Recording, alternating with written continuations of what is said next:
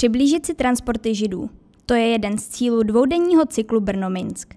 O navození atmosféry té doby se postaral i videomapping Jany Francové. Ten byl navíc obohacen o živé vystoupení hudebníka Tomáše Vtípila.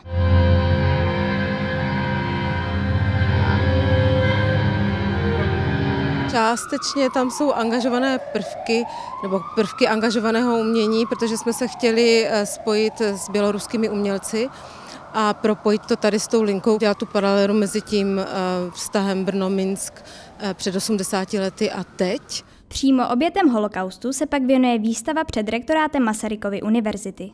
Kromě dodatečných informací je tu seznam a fotografie studentů, kteří byli transportováni. My jsme díky práci archivu Masarykovy univerzity a dalších studentů naší univerzity zjistili, že těch odtransportovaných studentů a absolventů bylo přes 500, 552. Všichni lidé rodí se svobodní a sobě rovní co do důstojnosti a práv.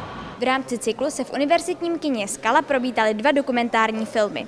A to zapomenuté transporty do Běloruska a Kuráž. A pak také sovětský film Jdi a dívej se. Slavnostní den 17. listopadu byl pak věnován současnému dění v Bělorusku. Represe režimu přiblížila výstava 11 plus 1 o vězněních studentech a učitelce a poté také debata studentů z Běloruska a expertů. Co sa týka Slovenska, čo vidím u nás, je aké nebezpečné, keď sa tieto témy nekomunikujú hlavne s mladými ľuďmi.